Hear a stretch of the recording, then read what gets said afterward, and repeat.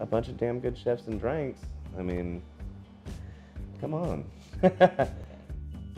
I'm Steven Goff. I'm the chef owner of Tastee Diner in West Asheville. I've been in Asheville since 2003 and I got here via freight train and homelessness.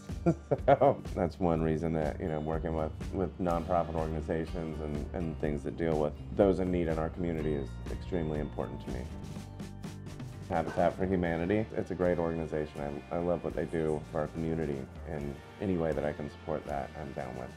You're hosting a bunch of really awesome chefs. You get to see a house, pieces of a house being built for someone in need. I mean, it's pretty interactive and cool. I mean, not many times with a nonprofit do you get to like see with your own two eyes right there what's what's happening with the money you've donated or you know the money you've spent on a ticket sold. Why should other people in our community care about this event, support this event, come to it, support Habitat? I mean, shouldn't we all always support like the people that are supporting the most in need in, in our community? I mean, it, I, I, don't know. Yeah, that's, that's, a tough one. I mean, I do know. Don't be an asshole. Support Habitat for Humanity.